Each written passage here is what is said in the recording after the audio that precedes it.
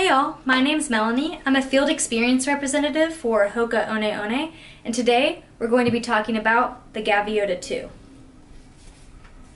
Let's start with the upper. Archlock wings offer midfoot stability and support.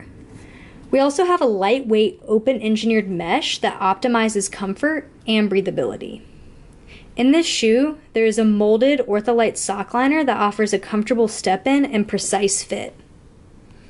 Moving on to the midsole, the shoe features a late stage meta rocker to provide additional stability and a smooth toe off. And moving on to the outsole, this is going to be an uppercase J frame as it moves throughout the shoe and past the metatarsals. The J frame uses rubberized foam for support, support, rebound, and durability. The moderate heel bevel provides a smooth heel transition.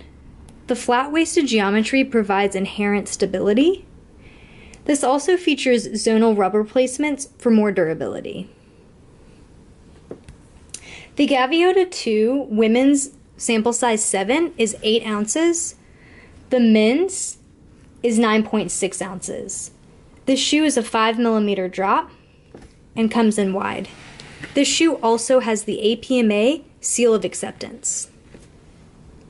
Gaviota 2. Thanks for tuning in, and it's time to fly.